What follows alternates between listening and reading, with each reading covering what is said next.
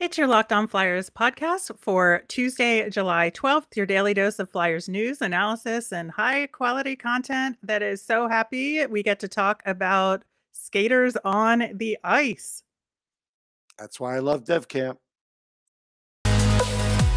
Your Locked On Flyers, your daily podcast on the Philadelphia Flyers. Part of the Locked On Podcast Network. Your team every day.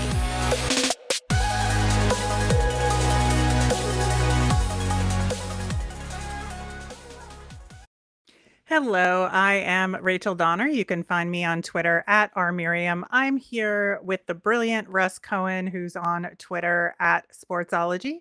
Thanks for making Locked On Flyers your first listen every day. You can follow us on Twitter at Locked On Flyers. That's where you'll keep up to date on all our episodes, Flyers news. You can also email us at lockedonflyers at gmail.com. We've got a mailbag segment coming up on tomorrow's show, so get those questions in.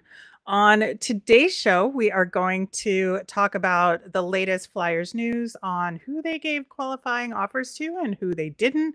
We're going to talk more about development camp and get into free agency, which is kicking off tomorrow. Locked On Flyers is free and available on Apple Podcasts, Spotify, Audacy, wherever you are listening right now. So hit that subscribe button. You'll get all of our episodes here on the Locked On Podcast Network. Plus, you can watch us over on YouTube. All right, so we did learn yesterday that uh, the Tony DeAngelo contract is official. It's exactly what we thought it was: two years at five million per. So that's kind of where we're at on that front. But I think the bigger news was that qualifying offers were due and uh, some interesting decisions from the Flyers, though not completely unexpected. So we had qualified offers given to Wade Allison, Jackson Cates, Hayden Hodgson, Linus Hogberg, Tanner Laczynski, Zack MacEwen, Isaac Ratcliffe, and Owen Tippett but most importantly, Morgan Frost. So yeah, the Frost one should get done. Um, that's what I'm hearing. I'd be shocked if it was anything else. It's nice that Wade Allison's getting it. I hope he can stay healthy, but if he can't, it's probably the last one he gets. I would think so as well. And, you know, a bunch of these guys obviously are either destined for Lehigh Valley or at least will start there. So right. I, I, expect them to be pretty easy contracts to get done. I, I gotta say, um, Owen Tippett, I'm very curious where that one lands. That one uh, worries me, like you said. Yeah. Maybe they go a little higher than we think they should. Yeah, I am a little worried that that is going to eat up a little bit more than your basic minimum level of cap space. But who knows? Maybe they think he needs some time to cook and they'll give him the minimum and he'll take it, you know, knowing that he could renegotiate again uh, later on. But uh, yeah, I am a little nervous about that one in particular. Um, I am very curious what Zack MacEwen's offer is going to be as well um, just because I know management likes him a lot. Um, I don't think he contributes a ton, so I'm hoping it's again sort of at that lower minimum Here level. you go, Zach. Yeah. Thank you. Yeah, and I think he's perfectly good as a as a fourth liner when mm-hmm. they need him, but um, I wouldn't want him to be counted on for anything beyond that.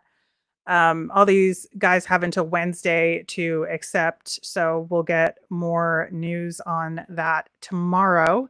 Uh, they did not give qualifying offers to Matt Strome, Maksim Sushko, or Kirill Ustimenko. And Sushko, we pretty much knew was gone. He's already signed over in Russia. Uh, Matt Strome is a little bittersweet for me. I think that, you know, he was definitely somebody that was going to have to overcome really bad skating in order to mm-hmm. make it. And I don't think he got there, but I think he improved a lot this past season in his gameplay. And I certainly hope he's open to an offer for an AHL contract with the Phantoms, but he will get UFA status, so he's free to do whatever he wants at, at this point. But I at least hope the Phantoms give him an offer. So you're expecting teams to line up for him, are you? AHL teams, maybe. Yeah, I can see that. And and he may just decide my time here is done and go play somewhere else, which Sure. perfectly reasonable for, for him to do. Listen, Uh, go Cor- play for Palm Springs. That's where I. If I were an AHL player, that's where I'm heading. Exactly.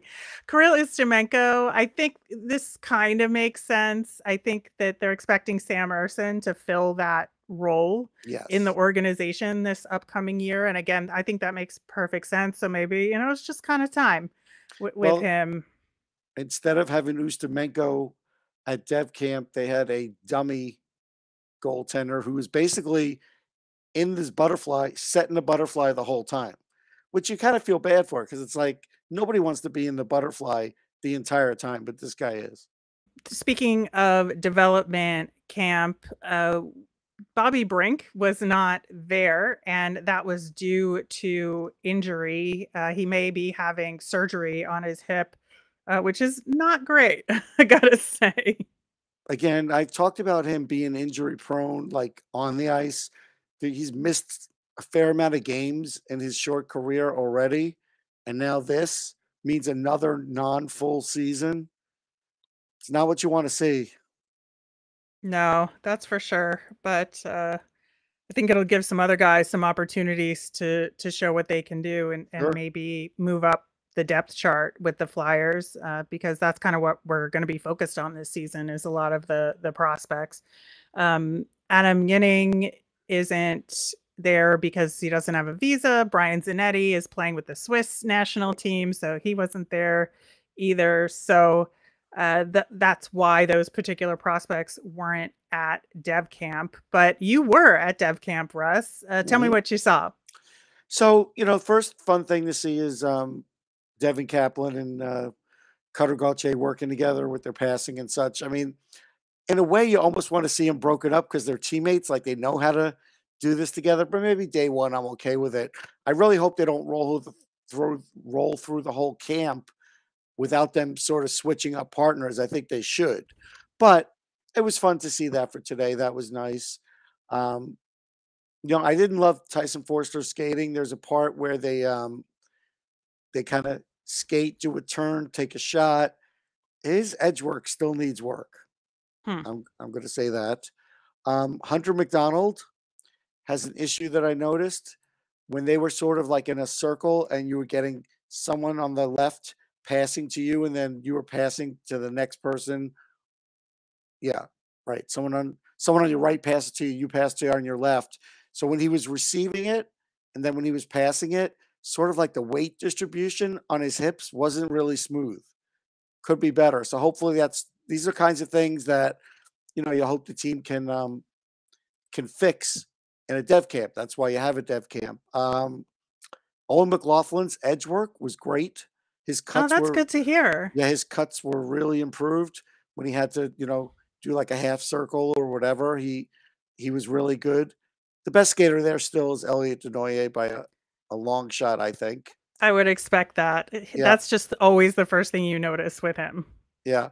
Um, on the defensive side, which again didn't get as much work today, it was more direction. Um, but what I did catch, uh, Mason Millman and Ethan Samson, I thought worked well together from a passing perspective, and so that was that was good to see. They worked on guys' first passes, and um, I thought Wyatt Wylie looked good on that, and so did Samson. So there's that. And then I took a video. Um, we can put up the link later on my Instagram for Cutter Gauthier, just doing his one timer thing, and it's it's amazing. and One, it's a great one timer. Yeah, I loved watching that video, and it does get you really excited for his potential because Sure. I think there's just not been like flyers that have done that. I mean, Giroux did that. I mean, he was kind of famous for his one timer uh, uh, on the team, but uh, it's just good to have somebody coming up the ranks who likes to do that sort of thing. Yeah. So like Ty McSorley, you know Marty's nephew. Eh, hmm don't see much there.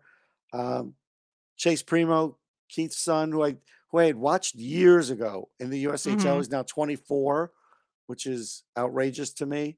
Um, his two step quickness is not great. Now, back in the day with Keith Primeau, that was fine because the league wasn't where it is now. So I don't know what that means for his future. Still doesn't mean they couldn't sign him to an AHL deal. I mean, you know, that's fine. Brodzinski looks good. Um, he's another one who's improved on his skating. And you saw his brother play for the Rangers this year. Yep. He's got he's got another year of college, but um, those Brodzinski brothers at least work hard. There's a lot of mixed feelings about Gavin Hain. I am not dismissing him. Gavin Hain looked good. His shot looks good. His skating looks good. He's calm, confident, and he um he's gained some muscle. And to me, that's that's a big thing. That's something that was he at North Dakota. That's something North Dakota could definitely help a player with. Mm-hmm. I, I don't know why people are, are dismissive. You know, like some of the media maybe are maybe they haven't seen enough of him. He's not an offensive player, but he could be uh, one of those centers that just does a little bit of everything. And you know, he's not going to be on the top three. He'd be a fourth line right. guy. Right. But again, you know, he does have a, a history of playing with the NTDP you know, I'd like to see what he puts up this year. He had nine points in 18 games last year. You know, if he can have a strong senior year there, I think about it because I'm just all I'm looking at is from like a fourth line perspective. Right. Well, and that's great to have the luxury of that one more year to see how he does. And yeah. you know, you can wait till next summer to to make that decision, right. which is good. Exactly. All right. Well, we will talk a little bit more about Dev Camp with some of the post skate interviews, as well as kick off our free agency discussion coming up next.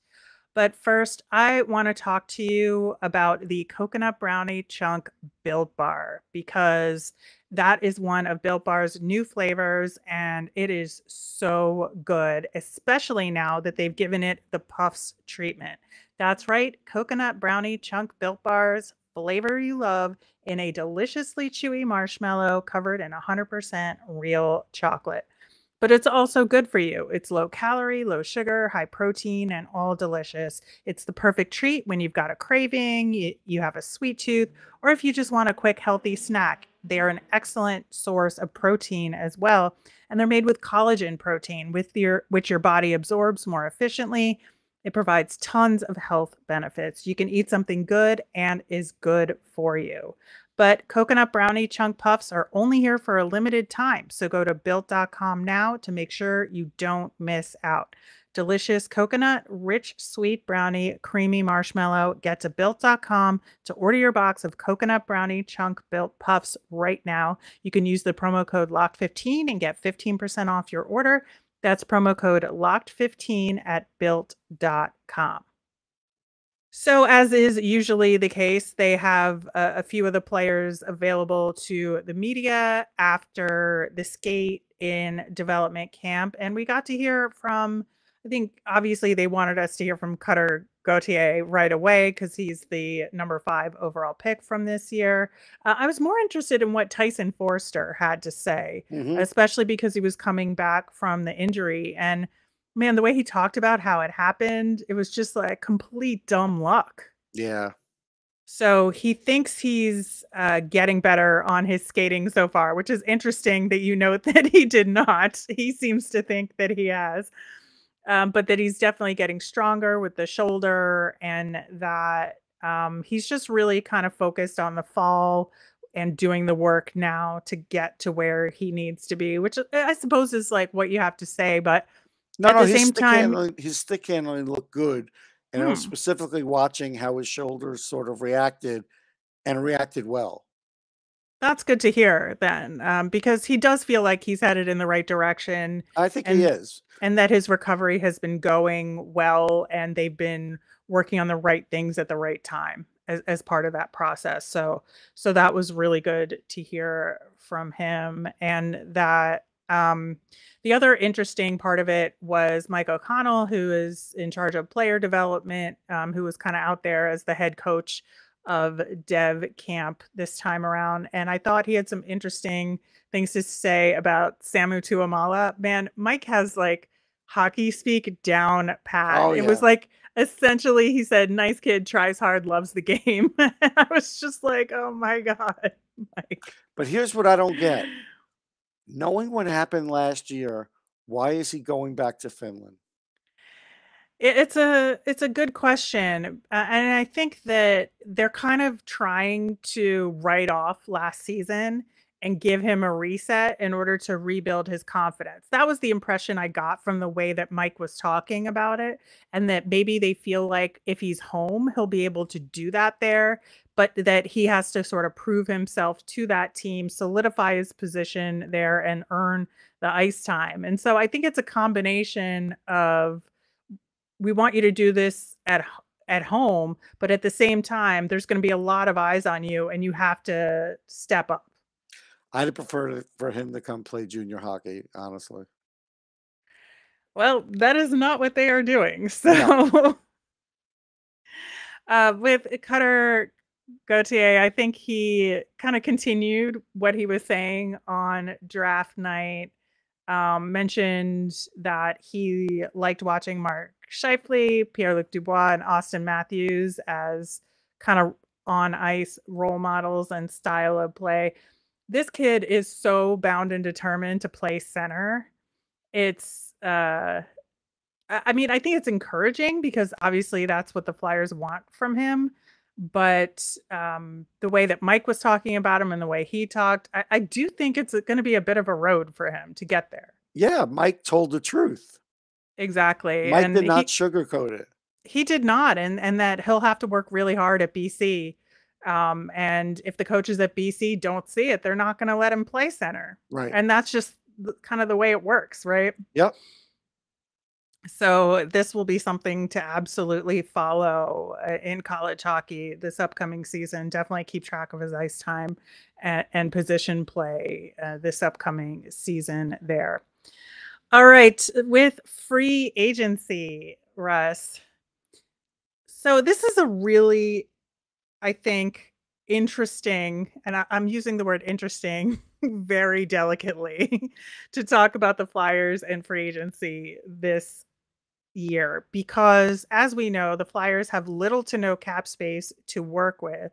They have a lot of needs and they have a distinct inability to clear the cap space to do any of it. But so i think there's just this confluence of unfortunate circumstances that chuck fletcher to some degree has created on his own to So get you're there. it's a lemony snickets of sorts. A little bit. Yeah, that's a good way of putting it. But I think that, you know, if you're talking about the team needs and what they could possibly get through free agency, I just don't know what's out there that the Flyers can afford. But what do you think are their top priorities? I think now you have to get a backup goalie.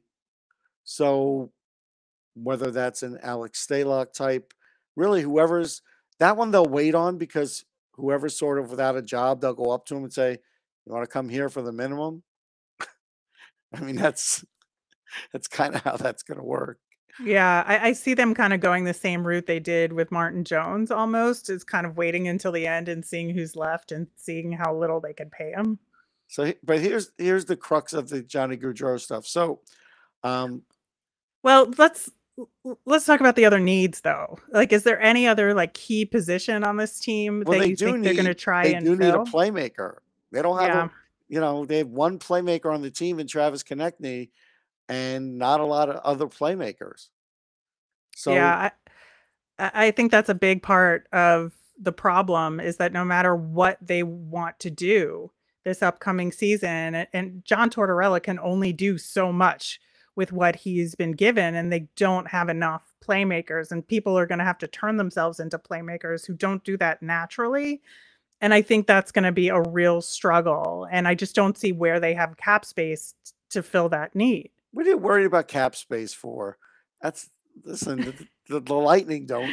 But I'm just saying. So here's where we're at with Gaudreau, though, because I was listening to my buddies at Sirius XM today, and he definitely was offered nine and a half by eight with Mhm. Calgary, who's also willing to go up from that. So I think the Flyers would have to be crazy to pay Johnny Gaudreau 10 million, not because Johnny's not a great player, because they don't have the 10 million to do it. but they still might find a way. So, so that's a little bit of a, a thing there. That's something to watch out for. You know, another player who's out there um, who I don't believe is re-signing, Nino Niederreiter. Um, now, he's is he really a playmaker? Eh, not really, but he is a rough and tumble guy who gets points, and that would fit the Flyers' profile. Kind of wonder if they would look at Nino Niederreiter. Yeah, I, I suppose that's possible. I think that um, you know, Gaudreau, like you said, is probably off the table. I mean, not impossible, but most likely off the table. I think Nazem Kadri is kind of off the table as well because of cap space and term. Um, obviously, Filip Forsberg is off the table because he signed with Nashville. Uh, so I think as far as like the big shiny names in free agency, I just don't see any of that as being realistic for the Flyers. No. Um, if they are looking for another scorer that's not too expensive, uh, Frank Vatrano, he was really good for a short time with the Rangers. Right. You know that they they're still going to need some other. Goal. I just think the Rangers might want to re-sign him. They might, but I mean, you know, I'm just saying the Flyers have to look at all these kinds of guys because yeah, I'd rather get two guys than just get Johnny Gaudreau because they need bodies. Exactly. Well, we will talk about some more of those potential names coming up next. Okay, so one of the interesting names that's out there, and we've talked about this a couple of times, but man, would I absolutely love to see a revenge signing of Evgeny Malkin in Philadelphia. I just, I think it'll cost less than those other guys, and maybe you can outspend the Pens on this and and just do it. I I think it would be incredible, especially because you know everything is a crapshoot, and Chuck seems to be spending money on weird things out of nowhere. I bet he could make it work, and it seems like the way the politics of it is happening right now between Malkin and Ron Hextall, it would just be the perfect thing. Sure. Um, the only issue is I just think he's going to go to Washington if he doesn't stay in Pittsburgh. I don't think, think that would play. be a better revenge tour in Washington than it, it would it be would be in just Philly. as good, if not better. Yeah. I mean, I, just, I can see it. That's my gut. Um, you know, if the if the Flyers had a you know want to spend a little bit, you know, Vincent Trocheck still only 29. He's a really good center. Mm-hmm. 50, 51 points. I still think uh, Trocheck's a, a heck of a good player if you want to spend a little more than than a Niederreiter. Um, you know, if you wanted to get a veteran cheap who is from Minnesota, who used to score goals, Phil Kessel, if you want to get him on a cheap one year deal, maybe you try it. You know, I don't hate that idea if it's a one year deal. Having another kind of veteran to sort of hang out with the other older guys and you know Phil Kessel just likes to go out there and score goals, so I'm not going to complain about that either. Um, and would certainly fill a slot in the lineup that uh, obviously we're dealing with a lot of the younger kids right now, and so it would add some more experience into the lineup. So I don't hate it. I, it just doesn't sound exactly like something Chuck Fletcher would do. Like he's he's it seems like he wants to get guys who are going to be in Philadelphia for more of the long haul. I think he he'll do that sort of short term deal with depth defensemen, mm. but um, I'm not sure it's the kind of deal that Chuck Fletcher is prone to to making. But I, like I said, I don't hate it at all. Yeah, I'm looking also if you wanted to get somebody with that 25 or or under kind of thing. Uh, Colin White's 25. Mm-hmm. He had, you know, he's had a history of injuries, but he's a good player. I mean, I think he's still a guy that we've not seen his best hockey. And again, um, I think they would like him there. He won't cost you a lot. He really won't. And the end of the day, he might be able to get you 30 points, 35 points. I mean, I would, and again, you could sign him for like three years where you're going through this transition. And if he does get it back together, that's good. But I mean, he he plays defense. He does all the things Torts would like. Mm-hmm. And you know, if you go back to 19 is when he had 41 points. Like that was his best year. That's what he's capable of. Uh, the other interesting thing that is happening as the Flyers have declined Matt Strome a qualifying offer, all three Strome brothers are now Yeah. going to free agency, which is absolutely wild. And part of me thinks, oh, maybe they should, you know, at least Dylan and Ryan could maybe swing something to play together. But I do think Dylan Strome could be an affordable option for the Flyers. He would be. Um, I did suggest somewhere else that maybe if Ryan Strome takes his price down, Dylan and Ryan could go to the Rangers because they actually could use both of them. Yeah. Um, the Flyers should call him though. I think that's yeah. that's legit. I'll give you another guy too who's on the trade block, Connor Brown. Connor Brown, uh, I watched him play in Erie with Connor McDavid. Really good goal scorer, fast. He um, he's six foot, so he would fill the quota if you know what I mean. And Mhm. also, like last year on Ottawa, ten goals, thirty nine points. So you would get like Scott Laughton type production. Not bad. and- Yeah. And, he would add to add speed to the lineup. You'd have to trade for him with Ottawa, Right. but right. that's where you could do the Konecny trade and maybe get something else in return as well. Well, and that's one of the things we talked about when we did our conversation with Ross uh, of Locked On Sens. Uh, that was one of the options we put out there, and I I do still think it's a good one. Yeah. Absolutely, absolutely. Um, yeah, I just beyond all of these sort of more depth forwards or you know third liner kind of levels, I just don't see many options out there for the Flyers, especially like you said, because they're going to have to to sign a backup goalie at this point, and and that's going to take some cap space as well. Well, if they got Trocheck, it would turn Kevin Hayes into a third liner, which I'm not against. I don't care what he's making. Like Vinny Right. Trocheck's just a better second center, and it would really make them a lot better. But you know, that's a pipe dream. Uh, If they got Niederreiter, he would challenge to be on the second line for sure. He would. I, I agree with that. And I, I also don't mind pushing Kevin Hayes down to the third line. I No. think if you can have a solid third line, that's more than they've had recently, Yep. honestly. So having a guy like Kevin Hayes on the third line, I, I got no problem with that at all. Especially maybe if you put Lindblom out there with him. I, I think that would That be, would be fine. I mean, if you're taking fine, Lindblom yeah. off the second line, but he's with Hayes, Mhm. that's fine. Yeah, exactly. All right. Well, lots of good options that we've talked about. Uh, we will continue this conversation tomorrow as free agency is about to begin. Uh, wrapping up with our Flyers fun thing, uh, continuing to honor Zach Hill of the Flyers PR department.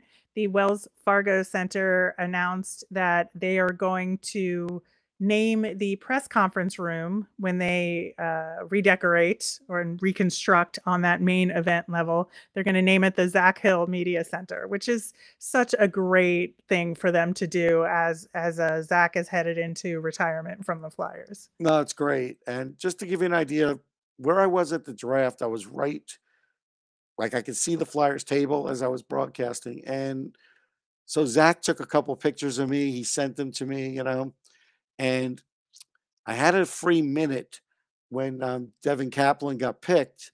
So I, when I knew the Flyers were on the board, I'm like, all right, let me go back to that vantage point and get like a behind the scenes video. And I did. And I got Zach, you know, bringing Devin up to the stage. And so I sent that video to him. I was like, hey, I got to pay you back because you're giving me all these nice photos. And he's done that over the years a million times. Mm-hmm. So I just felt like it was, I, I, needed to do that for him. That's very sweet. I love that.